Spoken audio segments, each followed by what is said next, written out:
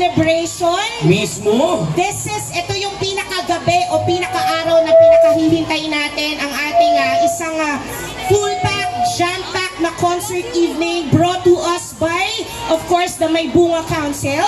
Mismo. Ayan, and it's nice to work with you as early as now, my ever dearest long hair partner, Joseph. Yes, maraming maraming salamat din sa iyo, Jolly Joyce. Yes, sige. And of course, maraming maraming salamat sa maagap na pagtanggap sa ating mga SK Council. Ma'am Patty, thank you sa inyo.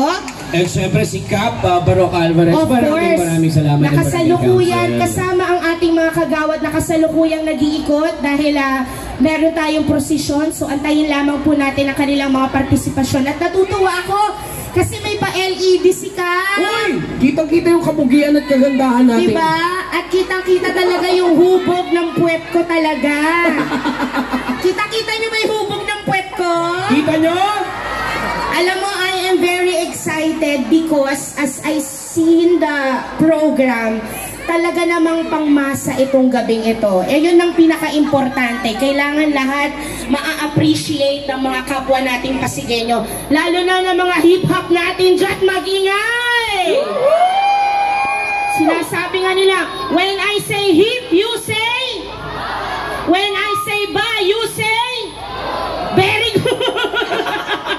Wala pa, wala pa yan, oh. wala pa Wala intro intro yan. Ha? When I say Wala bye, you say boy, baboy, ganun. So nga pala, itong, ah, itong mga hip-hop artists natin, this has been, ah, this is sponsored by the Pasigueño Hip Hop. Wow! Kaya mga local artists ng Pasig City to. Ha? Naniniwala ko na ang Pasig City ay ang susunod na Donggalo. Naniniwala ka ba? Feeling ko, ang daming rap, ang daming rap artists. ha? Kasi bibihira po ang isang lungsod na magkaroon ng mga rap contest. At nung nakaraang ah, araw, I don't know if kung anong araw yung nagkaroon ng rap contest, di ba? Parang the other day yata, Oh, tama? last 15th ng Oo, January. So, naniniwala ko na tayong taga-Pasig eh talagang mga ano, talentado. Kasi minsan na rin ako nagrepresenta ng Pasig nung ako'y sumali sa tawag ng tanghalan. Mhm. At ako'y nakadalawang panalo noong Wow. 2017. Ayan, i-search nyo.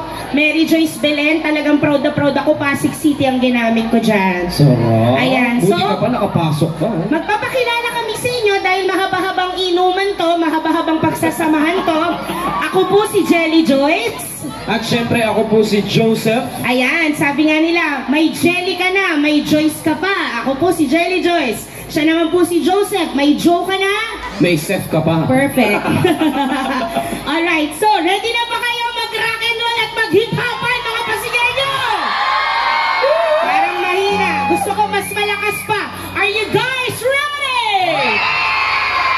Eto na, our first artist, mukhang ready na po sila ang ating unang bandang sasala ngayon. Let's all welcome pag sinabi kong U, sabihin